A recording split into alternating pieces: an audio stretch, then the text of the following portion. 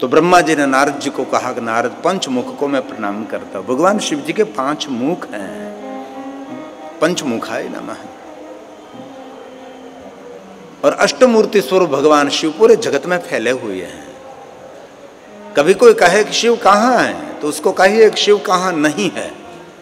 उसका यही जवाब है, शिव कहाँ नहीं है। जिस धरती पर हम पैर रखते हैं, वो कौन है? वो शिव तो है। अष्टमूर्ति में कौन है? वो भूमि भी शिव है।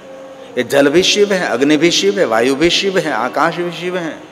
ये शत्रघ्न, जिनको आत्मा कहते हैं, वो भी शिव है, सूर्य भी शिव है, चंद्रमा भी शिव है।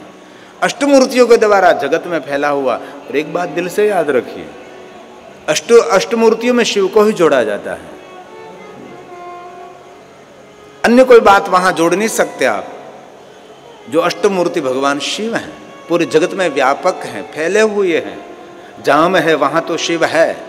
लेकिन जहाँ जहाँ हम नहीं हैं, वहाँ भी वो है।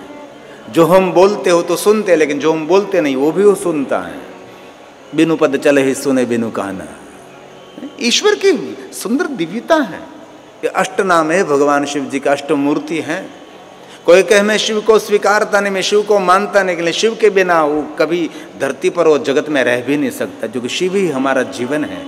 शिव ही हमारा जन्म है, शिव ही हमारी मृत्यु है, शिव ही हमारी अनंत यात्रा है, शिव के बिना सब कुछ अधूरा है। इसलिए अष्टमूर्ति शिव हैं।